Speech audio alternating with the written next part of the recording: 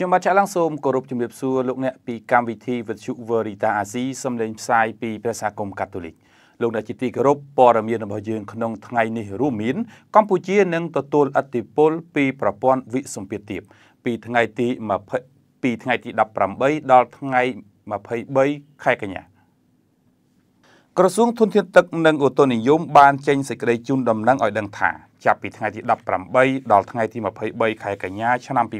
2024 កម្ពុជានឹងទទួលរងឥទ្ធិពលពីប្រព័ន្ធវិសម្ពាធដែលស្ថិតនៅសមុទ្រចិនខាងត្បូងហើយនឹងធ្វើដំណើរឆ្ពោះទៅកាន់តំបន់ឆ្នេរសមុទ្រភាគកណ្ដាលប្រទេសវៀតណាមនិងភាគកណ្ដាលនៃអាងទន្លេមេគង្គ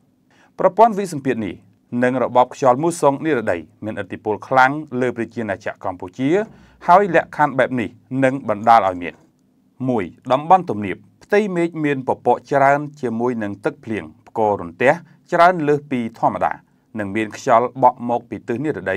និងខ្យល់ខ្លាំងបក់មកក្នុងកម្រិតល្បឿនមធ្យមដោយរួមមានដូចជាខេត្តបន្ទាយមានជ័យតាកែវបាត់ដំបងសៀមរាបពោធិ៍សាត់កំពង់ឆ្នាំងកំពង់ធំកំពង់ចាមត្បូងឃ្មុំព្រៃវែងស្វាយរៀងកណ្ដាលនិងរាជធានីភ្នំពេញ2តំបន់ខ្ពង់រាបផ្ទៃមេឃមានពពកច្រើនជាមួយនឹងភ្លៀងផ្គររន្ទះច្រើនលើសពីធម្មតានិងមានខ្យល់បក់មកពីទិសនិរដីនិងខ្យល់ខ្លាំង បក់ក្នុងកម្រិតល្បឿនលឿនបង្គួរដែលរួមមានដូចជាខេត្តកំពង់ស្ពឺបៃលិនឧត្តរមានជ័យព្រះវិហារស្ទឹងត្រែងក្រចេះរតនគិរីមណ្ឌលគិរីនិងតំបន់ជួរភ្នំក្រវាញ3តំបន់មាត់សមុទ្រផ្ទៃមេឃមានពពកច្រើន ជាមួយនឹងភ្លៀងផ្គររន្ទះ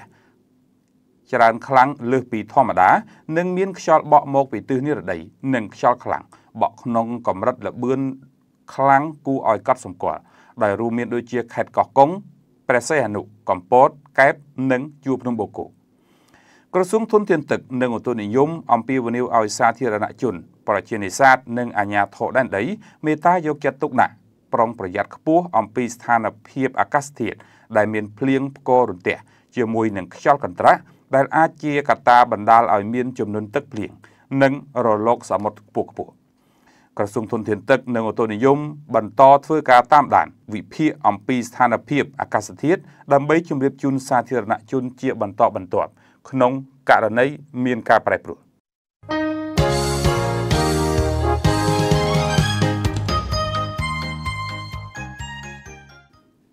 ពីសប្តាហ៍ដើមខែកញ្ញានេះ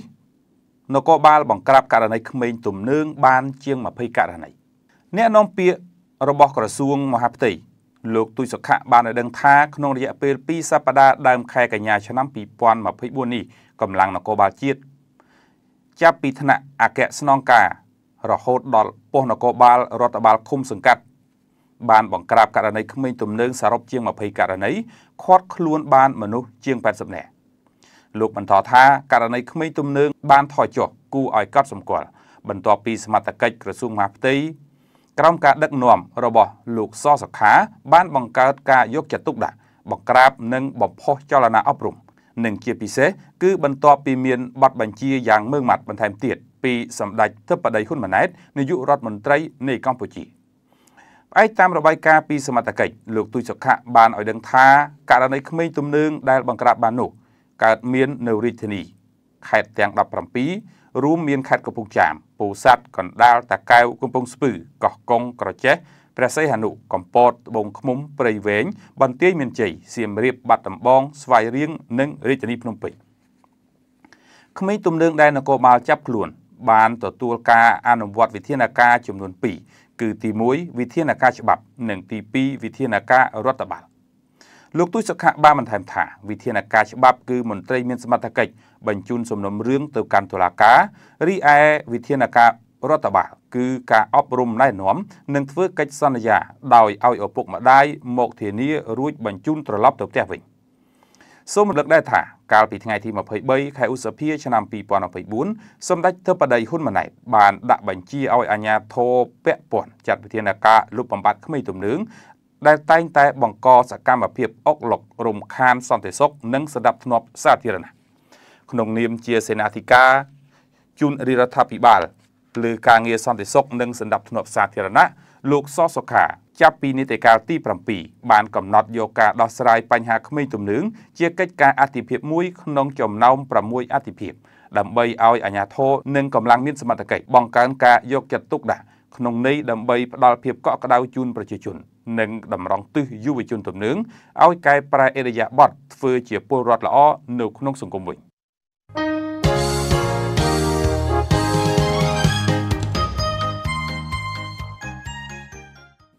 សន្តអាសនៈបញ្ជាក់ឡើងវិញអំពីជំហរមិនរីកសាយភាយនុយក្លេអ៊ែរ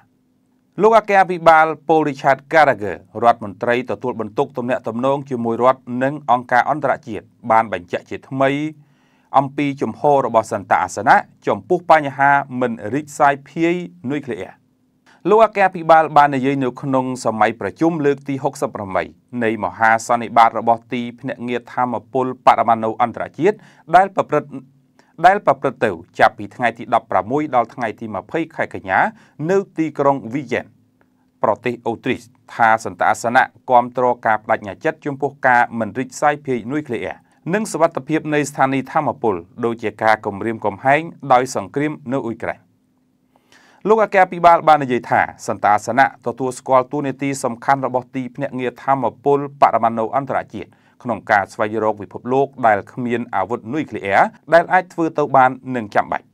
លោកអគ្គអភិបាលបានរំលឹកឡើងវិញថាការគ្រប់គ្រងឥតងារីចំពោះការរួមចំណែកជាច្រើនរបស់ទីភ្នាក់ងារធម្មពលបរមាណុអន្តរជាតិចំពោះការបដិញ្ញាចិត្តមិនរិចសាយភាយនុយក្លេអ៊ែរក៏ដូចជាការប្រើប្រាស់បច្ចេកវិទ្យានុយក្លេអ៊ែរប្រកបដោយសវត្ថភាពនិងដោយសន្តិវិធី ជាប្រយោជន៍រួមរបស់មនុស្សជាតិនិងការអភិវឌ្ឍសង្គមមនុស្ស លោកអគ្គអភិបាលក៏បានលើកឡើងពីទួនាទីរបស់ទីភ្នាក់ងារធម្មពលបរមាណុអន្តរជាតិក្នុងការអនុវត្តសិទ្ធិសញ្ញា ស្ដីពីការមិនរិចសាយភាយនៃអាវុធនុយក្លេអ៊ែរដែលបានចុះហត្ថលេខានិងផ្ដល់សច្ចាប័នដោយសន្តៈអាសនៈក្នុងគោលបំណងការពារការសាយភាយអាវុធនុយក្លេអ៊ែរនិងសម្រួលដល់ការផ្សព្វផ្សាយអត្ថប្រយោជន៍នៃវិទ្យាសាស្ត្រនុយក្លេអ៊ែរដោយសន្តិភាព និងបច្ចេកវិទ្យាដែលមានសម្រាប់ប្រទេសកំពុងអភិវឌ្ឍ ជាមួយនឹងបច្ចេកវិទ្យាទាំងនេះលោកអគ្គអភិបាលបានរំលឹកថាមនុស្សម្នាក់អាចបង្កើនការផលិតស្បៀងបង្កើតអគ្គិសនីកាន់តែច្រើនការគ្រប់គ្រងធនធានទឹកការត្រួតពិនិត្យបរិស្ថាន ការគ្រប់គ្រងការបំពុលនិងការត្រៀមលក្ខណៈសម្រាប់ជំងឺរាតត្បាតប៉ុន្តែសូមកុំគាំទ្រអាវុធនុយក្លេអ៊ែរលោកបានបន្តទៀតថាសន្តាសនៈក៏ទទួលស្គាល់កិច្ចខិតខំប្រឹងប្រែងរបស់ទីភ្នាក់ងារធម្មពលបរមាណុអន្តរជាតិក្នុងការជួយសម្រួលដល់ការផ្ដល់ ការព្យាបាលដោយវិទ្យុសកម្មនិងសារធាតុនុយក្លេអ៊ែរដែលចាំបាច់សម្រាប់ព្យាបាលអ្នកជំងឺមហារីក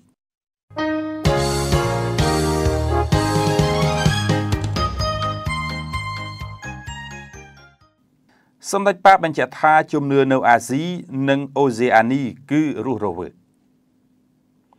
សម្ដេចប៉ាហ្វ្រាំងស៊ីស្កូបានពំនាំបទពិសោធន៍នៃដំណើរទស្សនកិច្ច12ថ្ងៃរបស់ទ្រង់នៅអាស៊ីអាគ្នេយ៍និងអូសេអានី ទៅចែករំលែកជូនគ្រីស្ទបរិស័ទនៅបុរីវ៉ាទីកង់បាទជ្រាបនេះបើតាមវ៉ាទីកង់ញូថ្លែងនៅក្នុងកម្មវិធីអប់រំជំនឿប្រចាំសប្តាហ៍កាលពីថ្ងៃទី18ខែកញ្ញាឆ្នាំ2024សម្ដេចប៉ាបបានគូបញ្ជាក់ថាទ្រង់បានឃើញគ្រីស្ទបរិស័ទនៅក្នុងប្រទេសនៅក្នុងដំណើររបស់ទ្រង់ថារស់រវើកសម្ដេចប៉ាបបានមានបន្ទូលថាគ្រីស្ទបរិស័ទនៅប្រទេសឥណ្ឌូនេស៊ីបាពួញូហ្គីណេទីម៉ូខាងកើតនិងសិង្ហបុរីគឺ ពិតជារឹងមាំសម្ដេចប៉ាពិពណ៌នាថា12ថ្ងៃកន្លងទៅនេះគឺទ្រង់ត្រូវបានព្រះជាម្ចាស់ត្រាស់ហៅឲ្យទ្រង់បានឃើញទស្សនវិជ្ជាដ៏រស់រវើករបស់ជីវិតជាគ្រិស្តបរិស័ទនិងជំនឿរបស់ពួកគេដ៏រស់រវើកនិងរឹងមាំសម្ដេចប៉ាបានគូបញ្ជាក់ថាអាស៊ីអាគ្នេយ៍និងអូសេអានីគឺជាសហគមន៍គ្រិស្តបរិស័ទដែលមានជំនឿលើព្រះគ្រីស្ទយ៉ាងទូលំទូលាយមកទល់ពេលនេះសម្ដេចប៉ាបគឺជាសម្ដេចប៉ាបទី3 ហើយជាសម្ដេចប៉ាបដំបូងគេដែលមកនៅអាស៊ីបានយូរបំផុតពលគឺ12ថ្ងៃសម្ដេចប៉ាបបានបន្តថាទូលបង្គំជាខ្ញុំសូមអរគុណព្រះជាម្ចាស់ដែលបានផ្ដល់ឱកាសឲ្យទូលបង្គំយល់អំពីតំបន់និងយល់អំពីតម្លៃនៃជំនឿនៅអាស៊ីនិងអូសេអានី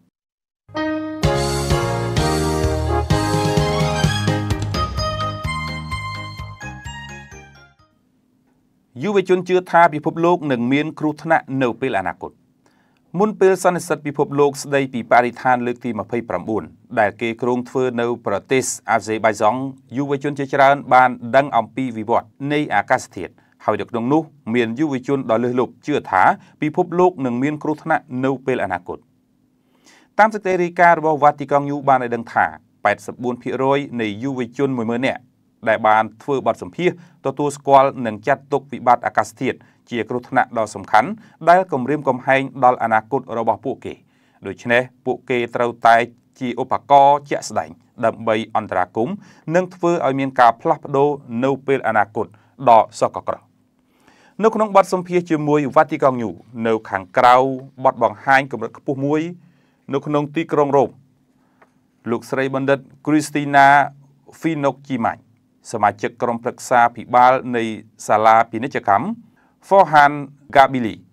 ក្នុងទីក្រុងញូវយ៉កនិងជាសាស្ត្រាចារ្យនៅសាកលវិទ្យាល័យកាតូលិកបេះដូងពិសិដ្ឋនៅទីក្រុងមីឡាន បាននិយាយថាមធ្យោបាយសំខាន់មួយដើម្បីចូលរួមជំរុញមនុស្សចំនួនថ្មីក្នុងការផ្លាស់ប្ដូរគឺពិតជាដំណោះស្រាយដែលអាចធ្វើឲ្យពិភពលោកមានភាពល្អប្រសើរលោកស្រីបានលើកឡើងថា ការដាក់បញ្ចូលបញ្ហាអាកាសធាតុនៅក្នុងបញ្ហាសង្គមវាមិនត្រឹមតែលើកកម្រិតទំនាក់ទំនងនិងសេដ្ឋកិច្ចប៉ុណ្ណោះទេ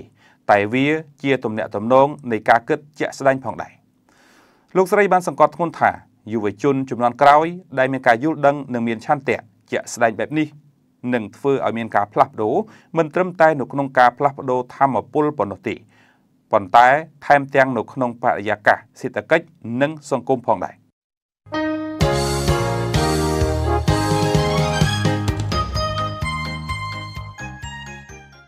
អាស៊ីអាគ្នេយ៍កំពុងប្រឈមវិបត្តិស្បៀងអាហារព្រោះអាកាសធាតុប្រែប្រួល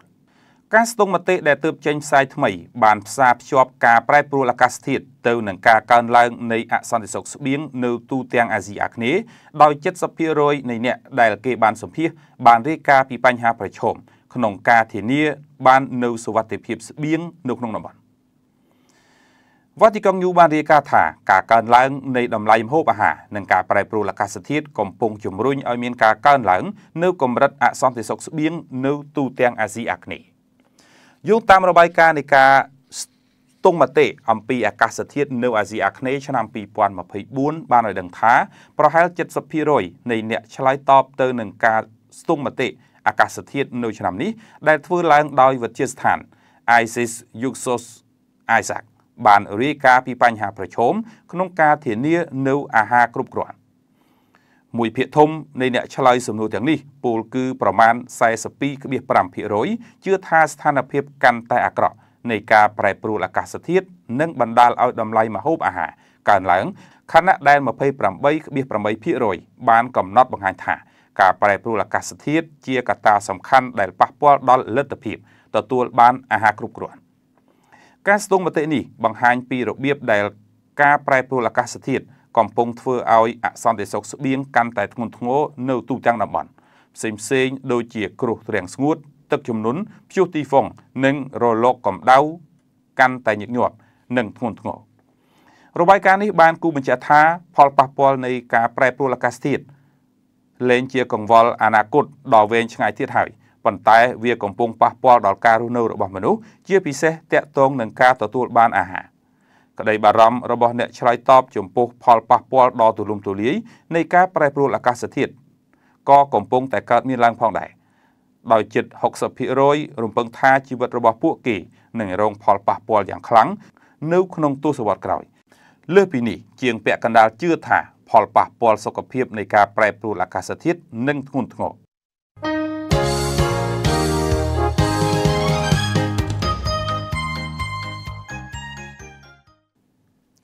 លោកអ្នកជាទីគោរពរាប់អានឈានចូលមកដល់បទវិចារណកថារបស់វិទ្យុ Veritas អាស៊ីក្នុងថ្ងៃនេះស្ដីអំពី គ្រោះថ្នាក់ចរាចរណ៍គួរប្រើច្បាប់មកដោះស្រាយជាងប្រើបាក់ពុនៅពេលបច្ចុប្បន្ននេះបាតុភិបផ្ដេសផ្ដាសដែលបានកើតមានឡើង នៅពេលគ្រោះថ្នាក់ចរាចរណ៍បានកើតឡើងថ្មីទៀត បញ្ហានេះត្រូវបានគេសង្កេតឃើញជាញឹកញាប់នៅពេលដែលមានឧបទ្រវហេតុនៃគ្រោះថ្នាក់ចរាចរណ៍បានកើតមានឡើងជាបន្តបន្ទាប់ហើយប្រសិនបើការអនុវត្តបែបនេះនៅតែបន្តកើតមាននោះសង្គមកម្ពុជានឹងកាន់តែវីវទៅទៀតនៅពេលកើតមានគ្រោះថ្នាក់ចរាចរណ៍កើតមានឡើងនៅលើទ្រង់ផ្លូវនានាជាទូទៅភាគីនៅក្នុងចំនួនបច្ចុប្បន្នមិនសូវប្រើច្បាប់ចរាចរណ៍ដើម្បីយកមកដោះស្រាយនោះទេ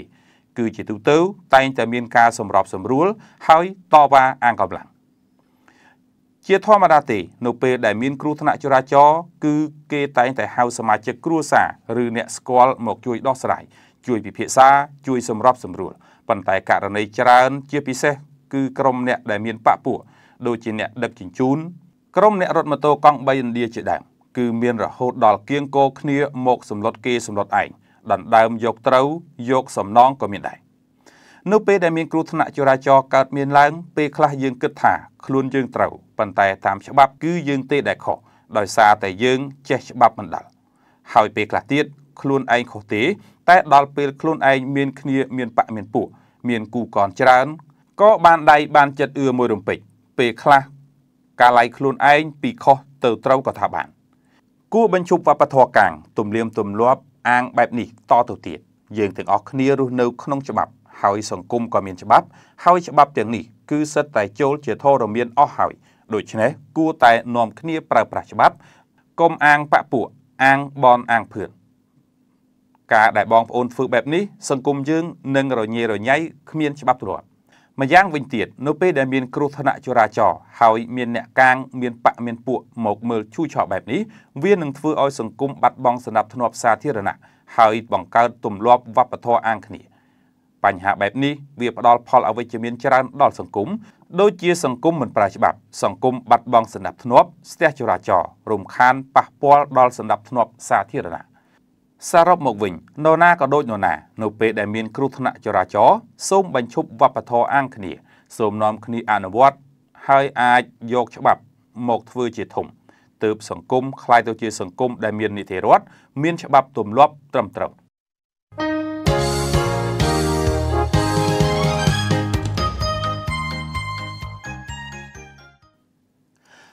បើប្រិមិត្តជាទីគោរពរាប់អានដោយសារតែពេលវេលាមានកំណត់ ពីនេតិព័ត៌មានរបស់វិទ្យុ Veritas អាស៊ីក៏បានឈានចូលមកដល់ទីបញ្ចប់ផងដែរ